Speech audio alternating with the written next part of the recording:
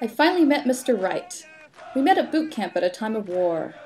We had so much in common, and yet we were complete opposites. It was almost as though we were made for each other. Both of us were polished, straight-laced, unsoiled by our walks of life, and I knew when I first saw him that we made the perfect pair. From the moment we set foot at camp until the day we were deployed for war, we were inseparable. Once we made the battlefield, we hit the ground running. Danger was afoot at every turn, but my dearest was never more than a few steps away.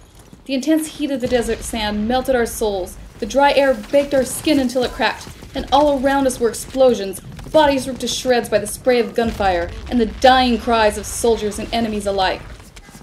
But he was there, standing faithfully on my right, and I knew as long as we could stay together, we would be okay. But bravery and foolishness are too close of kin, and in a quick instant and a small misstep, deafening gunfire kicked up earth, filling my eyes, and I was sent head over heels into the air. When the air cleared, I was on the ground covered in blood. I looked to my right and realized I was alone. The pain of my injuries did nothing to dampen the deep-planted despair. I no longer had a purpose on this earth. My other half was gone forever. Sometimes I could still feel him, like a ghost standing by my side, but I would look to my right and see nothing. For months I laid around, useless and forgotten, as bones knitted and flesh fused. Finally, one day, I was pronounced healed and ready to go home.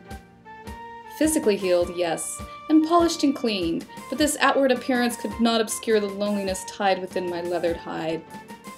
Shakily, unsure of my footing, I stood up and to my surprise, I did not fall. I took a tentative step forward and wondered miserably how I could possibly bear the burden alone. But when I looked to my right, there he stood by my side once again.